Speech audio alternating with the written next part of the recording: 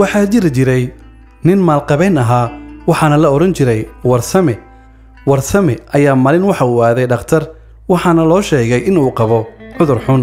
Ayna xirmayaan xidhiidhada jidhkiisa waxaana lagu yidhi raadso dhakhtar dibadda ah. Warsame wuxuu caafimaad u aaday dalka indiya. Waxaana loo sheegay in lagu samaynayo qaliin boqolkiiba sagaashan lagu dhimanayo.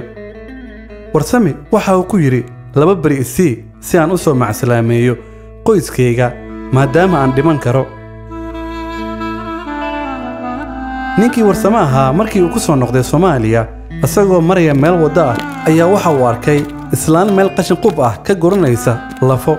Intuu naxay ayuu weyddiiyey islaantii maxaad lafahan ku falaysaa aad guranayso waxayna ugu jawaabtay waxaan u karinayaa carruurtayda laba sanno hilib ma cunin.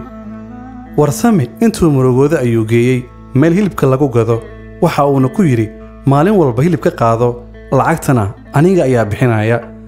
Islaantii intay faraxday ayay u ducaysay warsame.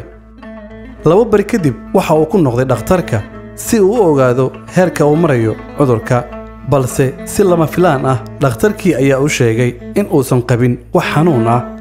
Xidhiidada jidhkiisuna ay caadi yihiin. Dhakhtarkii ayaa weyddiiyey meesha uu isku soo daaweeyey warsame ayaa ugu jawaabay ilaahay ayaa i siiyey daawo markii aan u naxariistay. Mid ka mid ah addoommihiisa